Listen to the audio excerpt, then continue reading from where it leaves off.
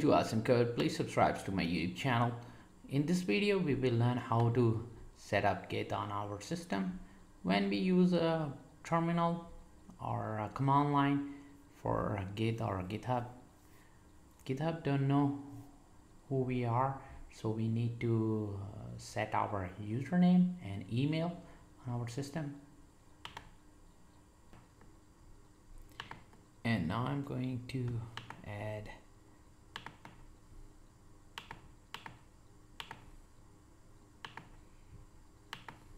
git and then config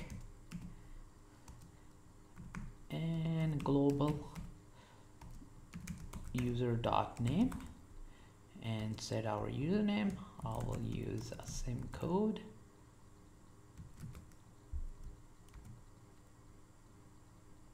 And hit enter.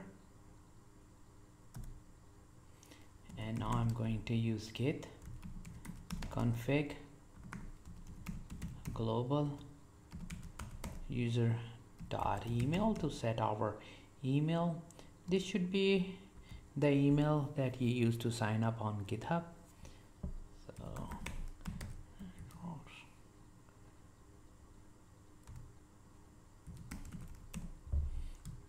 Academy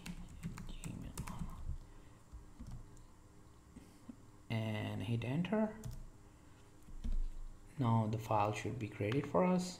I will check that file by using a cat command.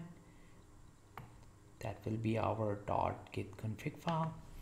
I will use cat tilde forward slash dot git config and hit enter.